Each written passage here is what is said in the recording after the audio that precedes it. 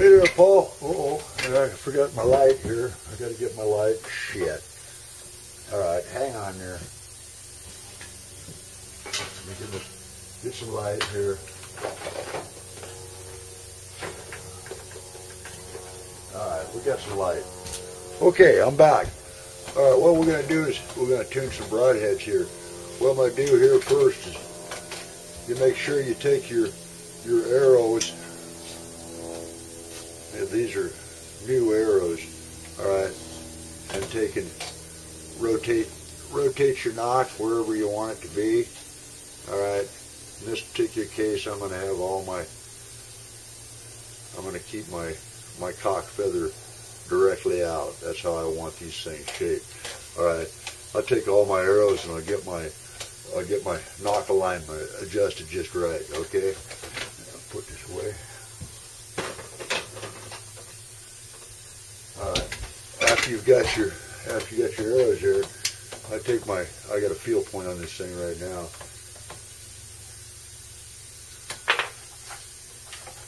Let's do a let's do a triple broadhead for a three blade first. Uh, I get a get a three. What you do is you you take your your blade wrench. Usually you got a plastic wrench there, and you tighten those suckers down good. The compressor in the background, uh, noisy bastard. Anyway, you get those things cinched down pretty good and tight. All right. Now, if you can see, let's see, see over here. Okay. All right. All I'm doing is I just take a nail, eight, an eight penny nail.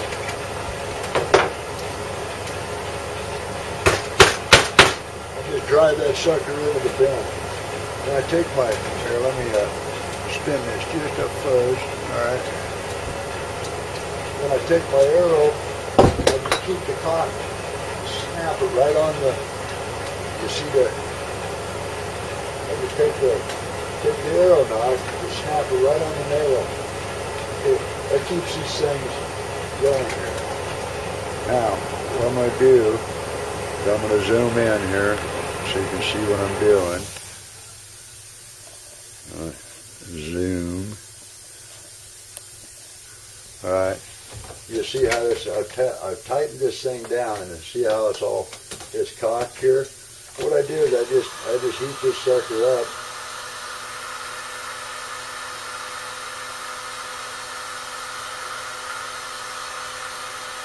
Of course, this doesn't work with a shit if you put epoxy, you use epoxy on it.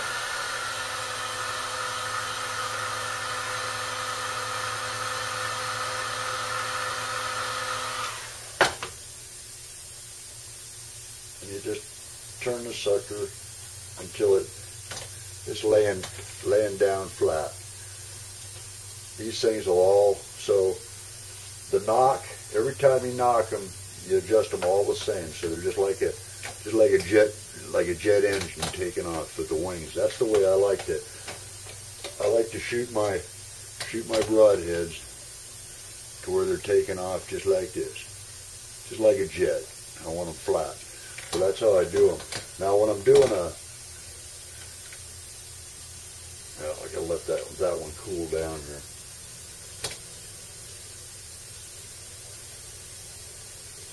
Yeah, I screwed that now. I went and screwed that.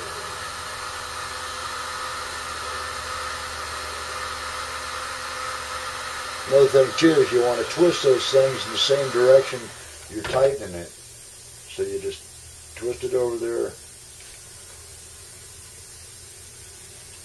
and they're all the same. Okay? Now, the same principle on the on the broadheads, uh, on the, uh, when you have your uh, your single blade broadheads, the same thing. What I do is I you can adjust them any way you want to. You can adjust them going straight up. I like them going sideways to where they come back and they clear my hand. I like to keep them sideways there. And then you do the same thing. Just snap those, snap those things, snap it on a nail, heat it, tighten it up, and then as soon as we have a, yeah, we could probably do that. We can do one here.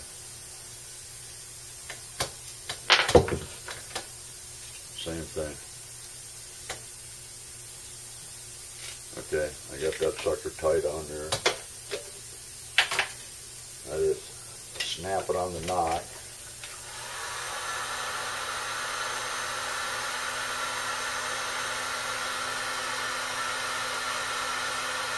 You heat the broadhead a little bit too, it, it helps. So you don't have to get so much heat on, on your arrow itself.